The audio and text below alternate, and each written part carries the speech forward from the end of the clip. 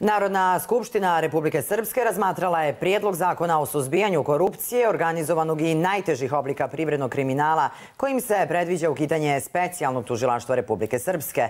Prema prijedlogu ovog zakona, umjesto specijalnog, biće osnovano posebno odjeljenje pri Republičkom tužilaštvu.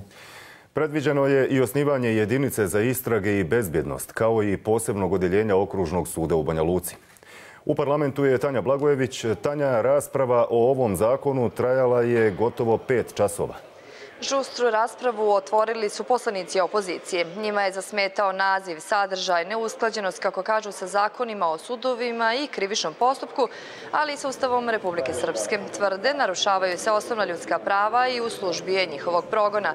To nije tačno, odgovaraju iz drugog bloka. Zakon, kažu u SNSD-u, nije idealan, ali je dobar početak jer ovo je, podsjećaju, procesni zakon. Potvrđuje to i restorni ministar Anton Kasipović, rekavši da je riječ o politizaciji. Raspravo je pratio pratila Ljubica Kovačev. Posebno odjeljenje tužilaštva biće nadležno na cijeloj teritorije Republike Srpske. Sprovodit će istrage i krivično goniti osumnjičene za najteže oblike krivičnih dijela, od teškog ubistva, otmice, trgovine ljudima, izazivanja vjerske i nacionalne mržnje, dovođenja u podčinjeni položaj Republike Srpske, ubistva i otmice njenih funkcionera, odavanja njenih tajni i pozivanja na nasilnu promjenu ustavnog uređenja Republike Srpske.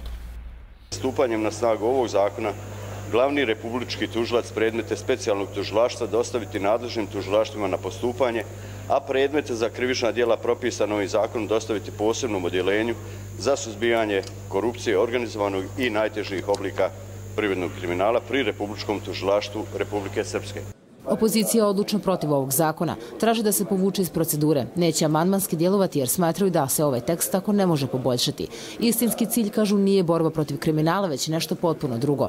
Posebno im je sporan član 13 kojim se definišu krivična djela u vezi sa narušavanjem ustavnog uređenja Srpske. I mogu dovesti do progona političkih protivnika i neistomišljenika, pa je veliko pitanje da li je to i bio cilj. Taj progon tvrde u NDP-u trebalo bi aktualnoj vlasti da donese rezultate na predstojećim lokalnim izborima.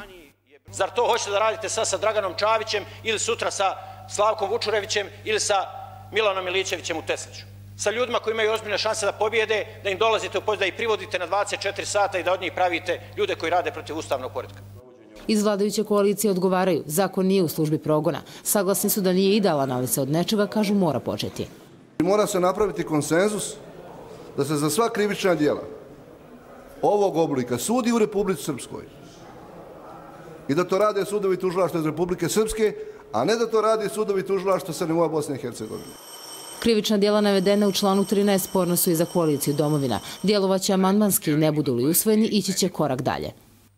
Mi ćemo ponovo morati da tražimo ocjenu prije svega i ustavnosti ovog zakona, ali i vitalnog interesa za Bošnjake i Hrvate u ovom entitetu. Da nema ni jednog razloga za tvrdnju da usvajanjem ovog zakona otežavamo položaj povratnika.